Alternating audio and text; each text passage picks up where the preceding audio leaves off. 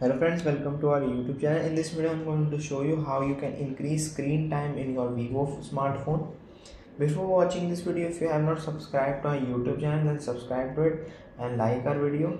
So let's start. First you have to go to settings option in your vivo smartphone like this. Then you have to go to display and brightness.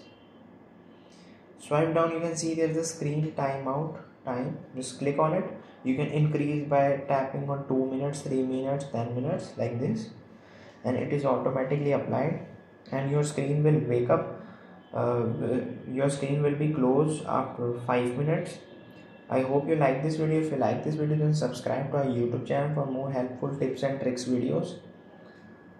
Thanks for watching.